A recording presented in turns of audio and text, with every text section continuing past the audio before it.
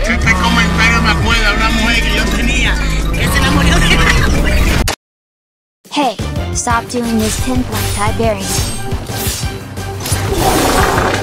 No, no, no, no, no.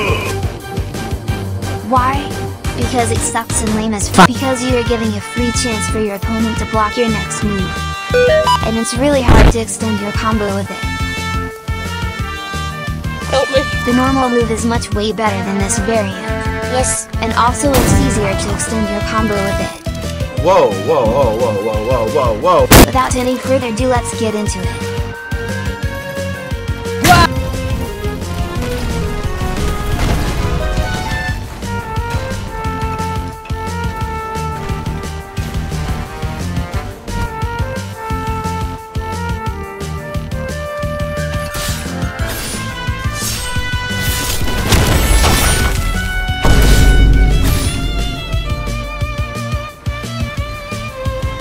It's actually pretty simple. After you did 4 M1s, quickly use your pinpoint cut. Follow where your opponent is about to land, once your opponent is right above you, you will be able to catch them with your M1. Keep in mind that you have to waste their ragdoll cancel first or else you will messed it up.